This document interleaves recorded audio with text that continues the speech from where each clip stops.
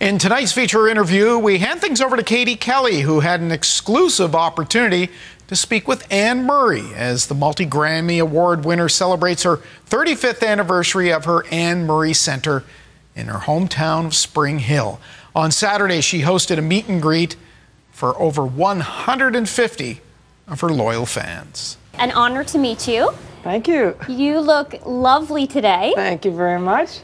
Watching you come around that corner and seeing everyone's excitement. I know you've been doing that for 35 years. Yes. Is it still exciting for you to see their excitement to you? Well, sometimes I wonder, I, you know, I, it's been so long since I performed that I sometimes forget that I did.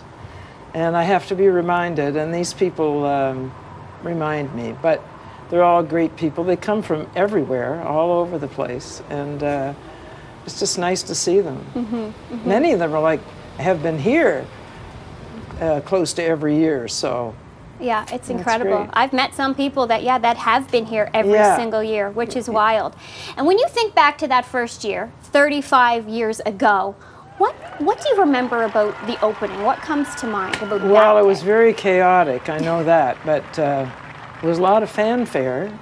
We had Mounties in, in uniform. We had parades and all kinds of things. It was a big day for everybody, and um, it was very exciting. And my my kids were there too, so they were old enough to kind of appreciate it, although they were shaking their heads. Well, it was so exciting to see you at the Junos a yes. few months ago. Yeah. Um, do you? Is it fun for you to kind of? Because I know you're you're pretty private these days, but is it fun to kind of have those little moments once in a while? Well, I I probably had it been anywhere else but Halifax, I probably would have uh, turned him down, turned the invitation down, but you know that was only ten minutes from my house, so.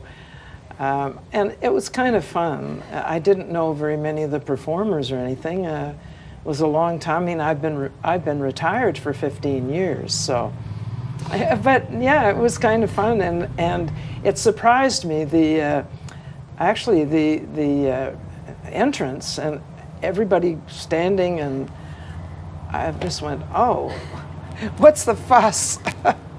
You're but, Anne Murray, yeah, you know. but I just, you know, it was it was wonderful um, how I was received, you know. Mm-hmm. You've collaborated with pretty much everybody, but you have been retired for 15 years. Yes. Are there any Canadian artists that, if you were, you know, gonna get back into it today, that you would have on the top of your list to collaborate with? I did the duets album, and I sang with uh, k.d. lang. I sang um, with Shania. I sang with Celine Dion. I, I sang with, you know, all of those people. So I, I think.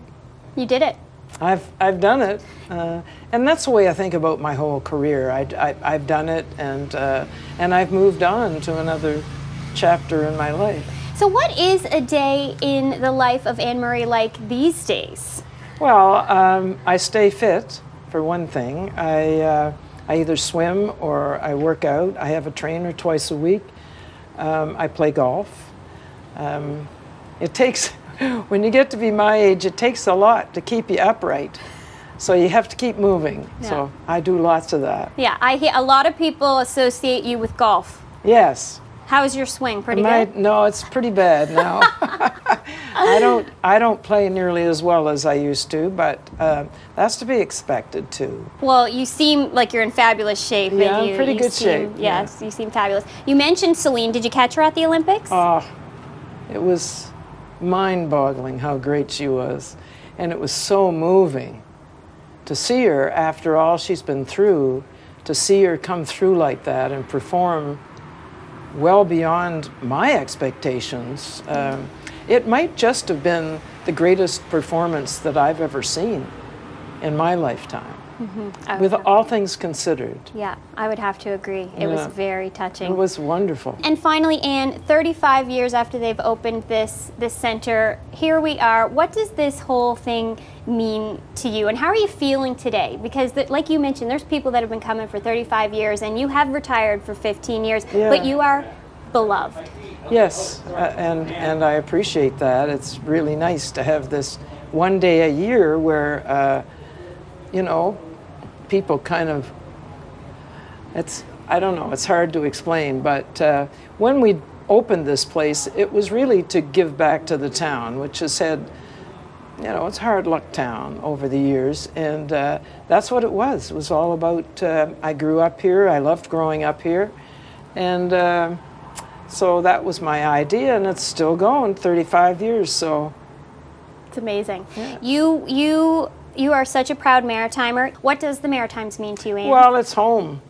Um, I always dreamed of going home one day and uh, wanted to make it happen.